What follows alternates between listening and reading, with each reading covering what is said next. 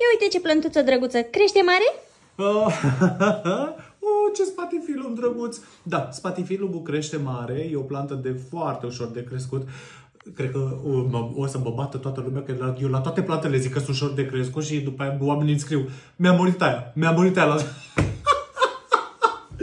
Da, uh, crinul păcii se mai numește. Uh, spatifilul e foarte ușor de crescut, dă în continuare frunze noi, dacă are și un pic de îngrășământ. A, cred că până acum n-am atacat subiectul acesta, îngrășământ. Este foarte important ca orice plantă pe care o avem în casă să o tratăm și cu îngrășământ.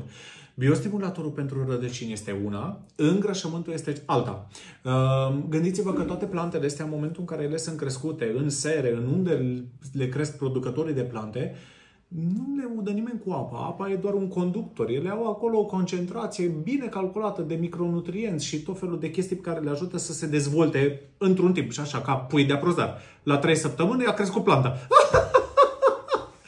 Ori în momentul în care noi le luăm în casă și le udăm doar cu apă, Plantele astea nu e ca și cum ne-am apucat noi să mâncăm pământ. N-am ști ce să facem cu el. Cu stomacul nostru n-ar fi obișnuit cu genul ăsta de hrană. Deci este foarte, foarte important să luăm îngrășământ pe cât de mult uh, adaptat la plante tropicale, plante cu flori, plante fără flori, plante cu frunze verzi, chestii de suculente, bonsai, orhidee, pentru că fiecare familie de plante are specificul ei și nevoile ei. Uh, Spatifilumul e foarte ușor de crescut, crește uh, destul de rapid, înflorește în continuu, mai puțin în perioada din iarnă când el intră în uh, stadiu vegetativ. În foarte multe plante, în special plantele de apartament, pe perioada de iarnă intră în stadiu vegetativ. Ce înseamnă asta? Că ele nu mai cresc. Au nevoie de apă mai puțină, au nevoie de mai puțin îngrășământ sau poate chiar deloc. Tot timpul când adăugați îngrășământ la plante să respectați ceea ce scrie pe etichetuță. A, așa? Da, vă rog să respectați ce scrie pe etichetă, ca să nu dăuneze uh, plantei și mare, mare, mare, mare grijă. Uh, uh, da, solul mereu umed, mai ales că eu, uh, la toate plantele astea care de fapt sunt, vedeți, cresc mai multe plântuțe într-un ghivecel, la toate, trebuie să avem grijă ca solul să fie mereu umed, pentru că, de fapt, are nevoie de multă, uh, mult uh, nutrienți, multe minerale și așa mai departe. Da? Uh, dar să nu băltească apa, asta știm deja. Și cel mai important, dușmanii numărul 1 al plantelor.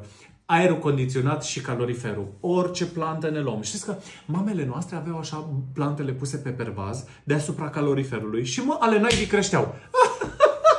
Da, pentru că ele erau aclimatizate. Mamele noastre își luau câte o plântuță de la una la alta și ele de 30 de ani au crescut deasupra caloriferului. Ea știa ce să facă planta ca să trăiască în continuare acolo. Astea care sunt crescute ca pui de aprozar în 3 săptămâni, ele nu știu ce să facă cu căldura care vine de la calorifer.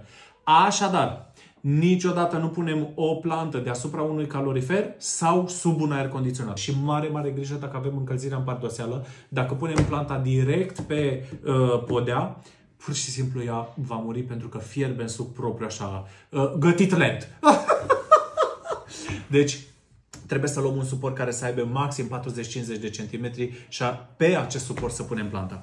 Da? În rest, ă, de spatifilum pot să zic că o să-ți crească, dacă ai grijă de el, foarte mult, foarte mare și o să vezi că o să se dezvolte foarte frumos. Din când în când va trebui transplantat. Atenție, cu un ghiveci nu mai mare de 20% față de ghiveci actual. Și bineînțeles, dacă vreți să știți alte informații despre spatifilum, vă rog frumos să lăsați un link, un mesaj în comentarii. Vă pup!